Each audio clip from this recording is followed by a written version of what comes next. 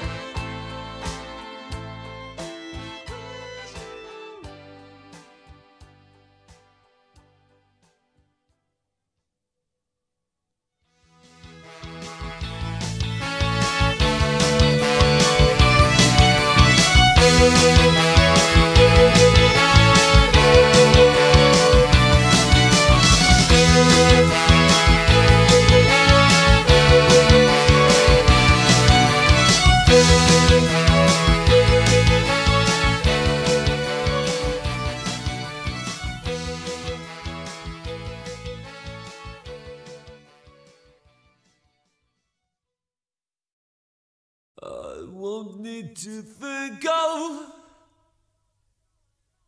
Nice things to say.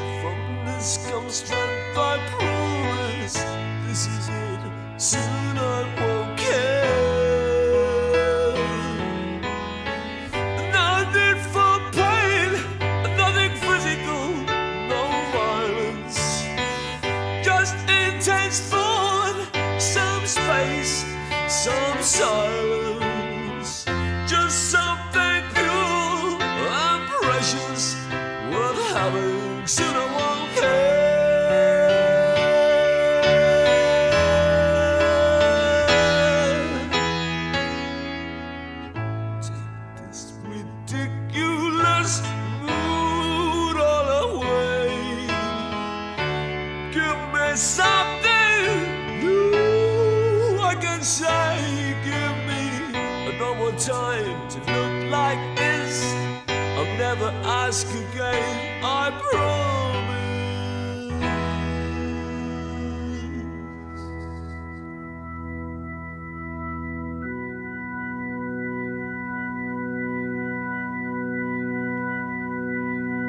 You've always been searching for something.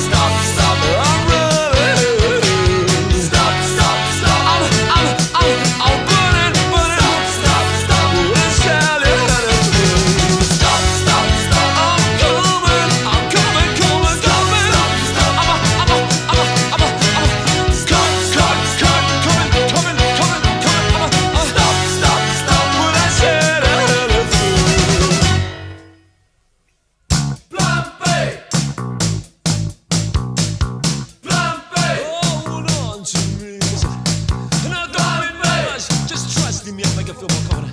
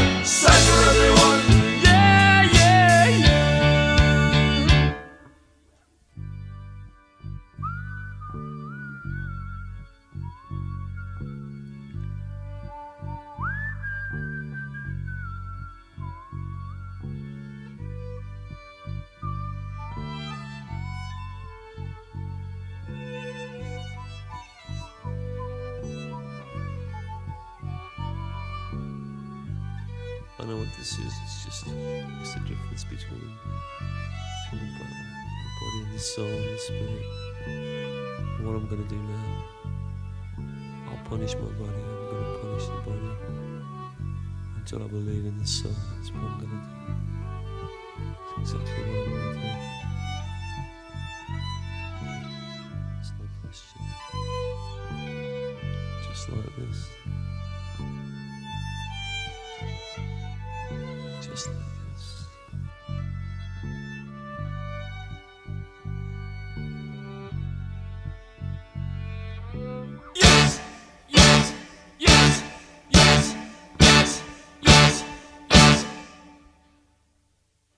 I believe it's there. That's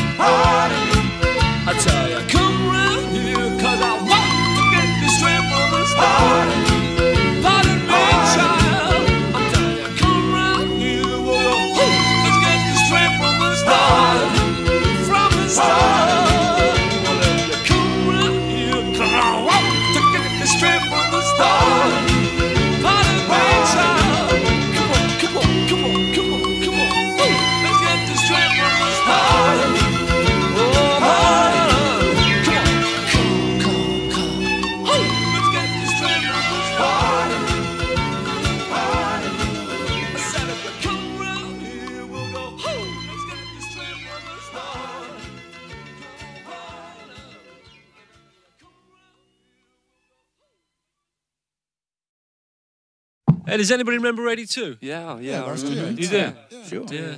I mean, can I reminisce? Sure, go ahead, go on. You don't mind or anything? If you want Yeah, to. I mean, Can I get personal? Sure. Yeah, do I what mean, it's you not want to to do. offend anybody or you don't Nah, object why, or anything. Why should it? Nah, You sure? man, Come on, Sure, yeah, yeah, do what you on. want. Okay.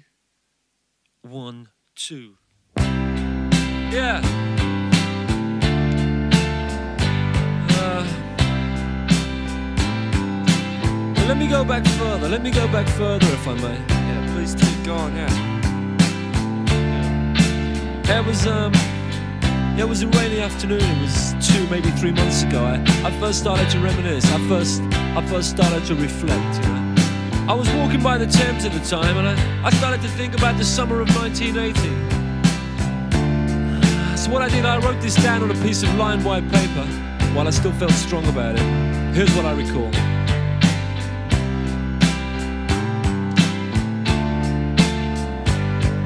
It was August 1980.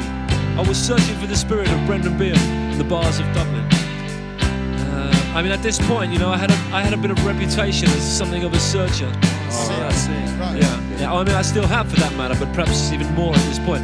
Anyway, I went from one bar to another. Uh, I mean, I started off with a couple of friends, but I, after a short while, I think they just decided to abandon the search. Well, you know how it is. They probably had other plans or something. Sure. Yeah, sure. Yeah. But I mean, me, I carried on. You know, I was determined. I, I went from one bar to another. I went, I went to Brannigan's. I went to Flanagan's. You know, like in the song. You know, the one about the donkey. Yeah, you know I've that one? it, I've heard it. Oh yeah, yeah. I mean, like, because the thing is, I, I've got to confess, you know, at this point, I wasn't feeling on top of the world, you know. No. No, frankly, no. No, sir. In other words, you weren't exactly laughing. I mean, I wasn't exactly walking down the road with a, a spring in my step, you know. Happy-go-lucky wasn't wasn't my middle name. I mean, I heard that blind man, that man with the glasses. I, I heard him singing. Um, I didn't like the song, you understand. Oh, yeah. right. No, but I did know what he meant about the higher ground. I knew what he meant about the higher ground. You did. I did, yeah. You understood it. So anyway, I, I went into this one bar. I can't remember the name of it. It doesn't really matter now. But I, you know, by this time I was getting, I was getting really impatient. So I plucked up the courage to ask somebody. Uh, and I noticed a man He was uh, probably in his early 30s. He was, was well built. He had uh, ginger hair and a big, fierce, powerful face. Uh, he looks like the type you'd know, I thought. You know. Excuse me, do you know where I can find the spirit of Brendan Behan? said I. Brendan Behan, said he. Yes, said I. New York, said he. New York, said I. New York, he said again quickly. New York? Yeah. What? Man, that's 3,000 miles due west. Yeah. I mean, you was on the wrong side of the world. Yeah. So what did you do? Well, what could I do? I just got out of there. I put my coat on. I got out of there. I walked straight out of there. I, I walked down the road and I started to sing.